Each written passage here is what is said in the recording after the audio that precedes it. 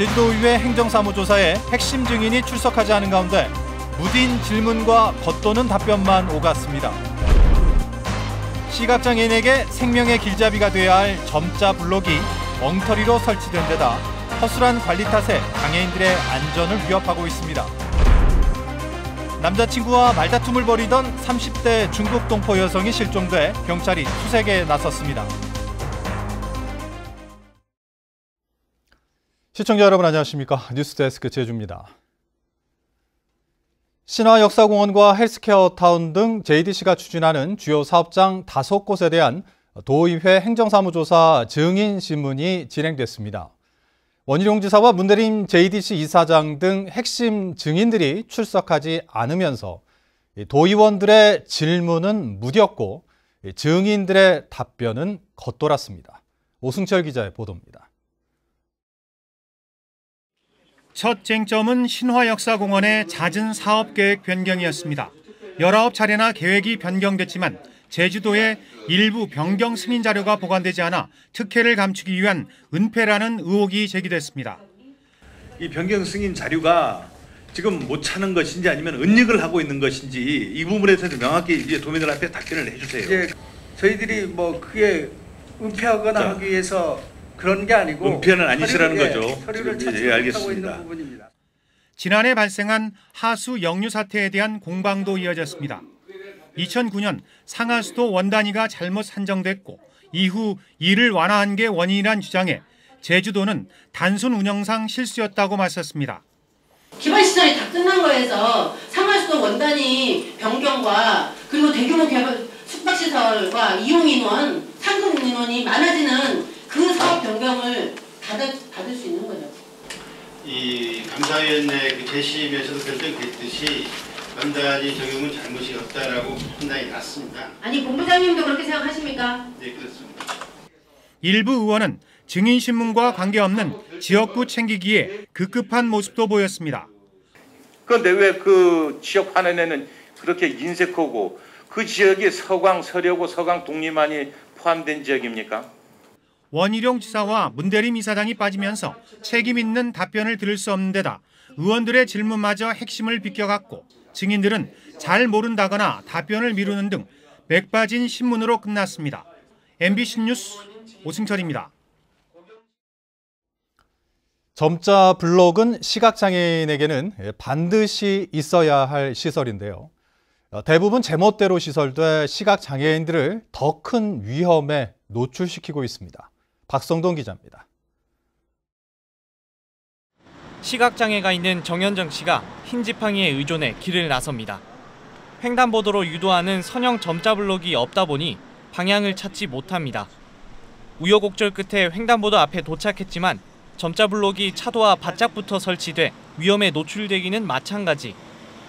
케인이 잘못 짚어가지고 방향을 잘못 잡아서 좀 인도 인도에서 떨어진 저기 추락한 적이 좀 있었는데 좀 다소 불편했던 위험했던 것 같습니다.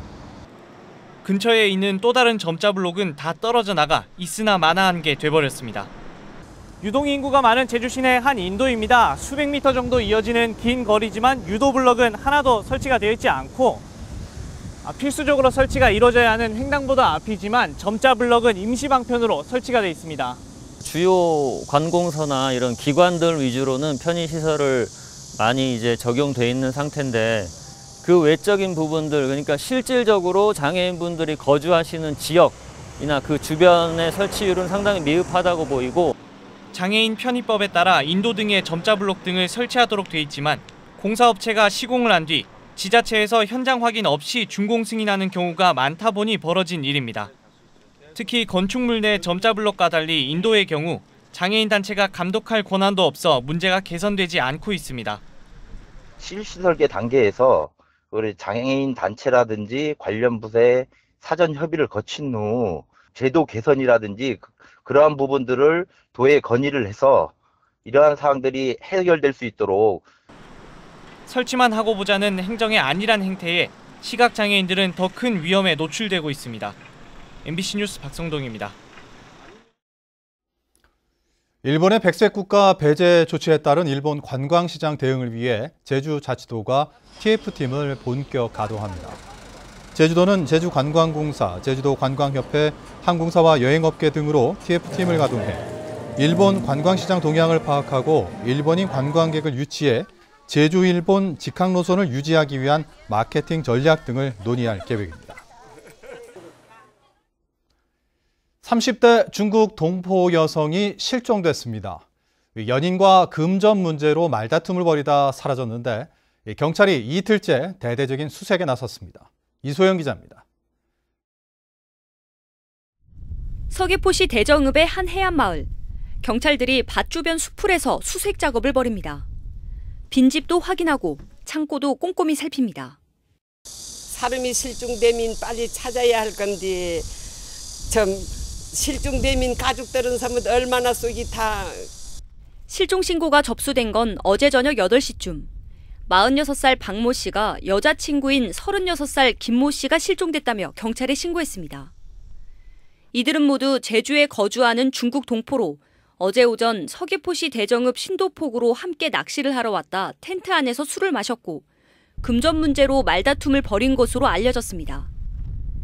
박 씨는 이후 잠이 들었다 4시간 뒤 잠에서 깨어나 보니 김 씨가 보이지 않았다고 경찰에 진술했습니다.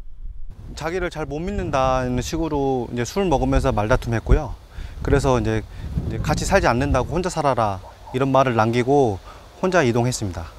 경찰은 이틀간 경찰과 소방 인력 350여 명을 동원해 수색에 나선 데 이어 오늘 오후부터는 헬기까지 투입해 김 씨의 행방을 찾고 있습니다. 주변 CCTV에도 김 씨의 모습이 잡히지 않은 데다 실종 지점 주변에서 휴대전화 신호가 감지되면서 경찰은 범죄 등 모든 가능성을 열어두고 수사를 벌이고 있습니다. MBC 뉴스 이소연입니다.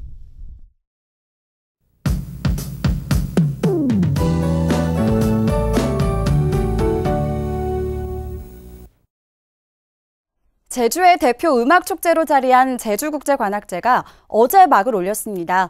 이번 관악제는 섬 그바람의 울림을 주제로 오는 8월 16일까지 9일 동안 제주도 곳곳에서 열리는데요. 이번 주말 탑동 해변 공연장에서도 연주가 있다고 합니다. 바다를 배경으로 금빛 선율에 취해보시는 건 어떨까요? 9호 태풍 레끼마가 중국 연안을 따라 북상하면서 제주에 직접적인 영향은 없겠습니다. 다만 태풍이 만들어낸 비구름대로 인해서 내일 구름 많은 날씨를 보이겠는데요. 저녁부터 산지와 남동부 지역을 중심으로 비가 내리겠습니다. 비 양은 10에서 40mm로 많지는 않겠지만 일요일까지 이어지겠고요. 내일 오후에는 강풍특보도 발효될 걸로 예상되고 있습니다. 주말 낮 최고 기온이 32도까지 오를 걸로 예상돼 덥고 습한 날씨는 이어지겠습니다. 다음은 자세한 지역별 내일 날씨입니다. 내일 아침 기온은 성판악을 제외한 제주도 전 지역이 26도로 예상됩니다. 낮 최고 기온은 북부가 32도까지 오르겠고 서부와 남부 동부가 31도를 기록할 걸로 예상됩니다. 해상엔 안개가 짙게 끼겠고 남해서부 먼바다엔 풍랑주의보가 발효 중입니다. 바다의 물결은 제주도 남쪽 먼바다가 3에서 6m로 매우 높게 일겠습니다. 항해나 조업하는 선박은 주의하시기 바랍니다. 주간 날씨입니다. 다음 주 월요일에 비가 한 차례 내린 후 대체로 구름 많은 날씨를 보이겠습니다. 30도 안팎의 더위는 지속될 전망입니다. 날씨였습니다.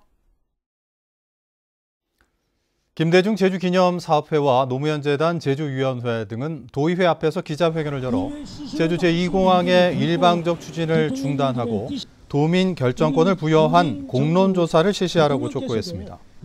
이들은 제2공항 갈등 원인의 핵심은 공정하지 않은 일방적 추진에 있다며 제2공항 문제를 도민 스스로 결정할 수 있도록 공론화를 수행할 수 있는 주체를 만들어 도민의 민주적 역량을 발휘하도록 앞장서 달라고 촉구했습니다. 제6회 제주 삼다수 마스터스가 오늘부터 사흘간 오라 컨트리 클럽에서 열리고 있습니다. 제주도 개발공사가 주최하고 제주도와 광동제약이 후원하는 이번 대회는 세계 랭킹 1위 고진영과 골프 여제 박인비와 최혜진 등 국내 최정상급 선수들이 총출동해 경쟁을 펼치고 있습니다. 이번 대회 상금은 총 8억 원으로 우승 상금은 1억 6천만 원입니다. 제주도는 고달순 씨를 무형문화재 제14호 제주도 옹기장 보유자로 지정했습니다. 고 씨는 70여 년간 제주 옹기 제작에 종사하며 옹기의 보존과 전승에 힘써왔고 고 강신원 불대장과 함께 불대기 분야에서 이해도가 탁월한 것으로 평가됐습니다. 제주도는 오는 14일 고 씨에게 무형문화재 보유자 인정서를 전달합니다. 어제 저녁 8시쯤 서귀포시 동호동 모 아파트 5층에서 11살 박모군이 떨어져 크게 다쳤습니다. 사고 당시 박군은 아파트 뒷뜰에 있는 풀숲으로 떨어져 생명에 지장이 없는 것으로 확인되는데 경찰은 가족 등을 상대로 정확한 사고 경위를 조사하고 있습니다. 오늘 오전 9시쯤 서귀포시 안덕면 동광리 광명교차로 근처 평화로를 달리던 4.5톤 화물차에서 불이 나 20여 분 만에 꺼졌고 인명 피해는 없었습니다. 화재 당시 화물차에는 목재 5톤이 실려 있었는데 소방당국은 적재물이 많아 엔진이 과열되면서 불이 난 것으로 보고 정확한 화재 원인을 조사하고 있습니다. 한국토지주택공사 제주지역본부가 서귀포시 성산읍 고성리에 건설 중인 국민임대주택 입주자를 모집합니다. 이번에 공급하는 국민임대주택의 임대 조건은 시세 대비 최고 77% 수준으로 전용 면적 26제곱미터형 88가구와 46제곱미터형 96가구 등 모두 346가구입니다. 뉴스데스크 제주를 마칩니다. 시청해주신 여러분 고맙습니다.